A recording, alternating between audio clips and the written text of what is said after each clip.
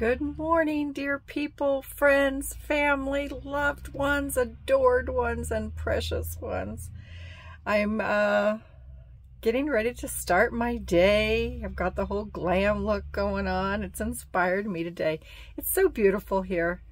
And I'm so lucky. I'm so lucky to have had or taken the freedom to enjoy this place one more time at least.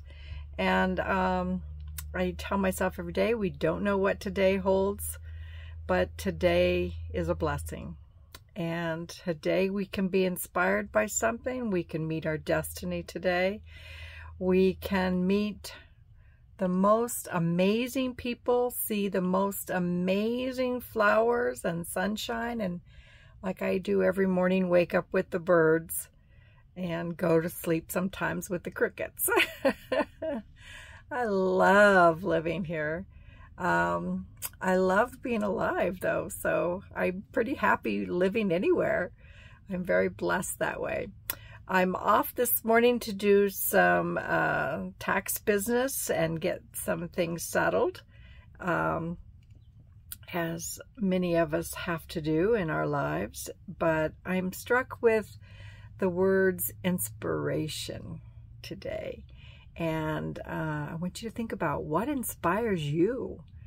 What keeps you going every morning? What wakes you up, puts a smile on your face and a little spring in your step and do that. You know, sometimes I don't get to be with my children or my grandchildren. That's a big, big, heavy disappointment in my life. But I'm still inspired by them. I'm still driven to live my best life. And um, someday they'll be proud of that. They'll honor that, I think, I hope.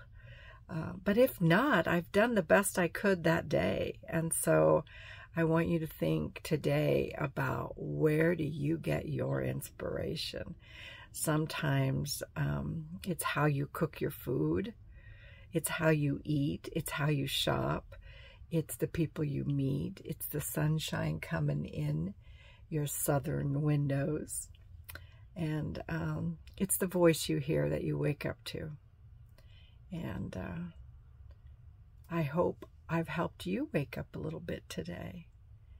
Anyway, mwah, many, many blessings to you.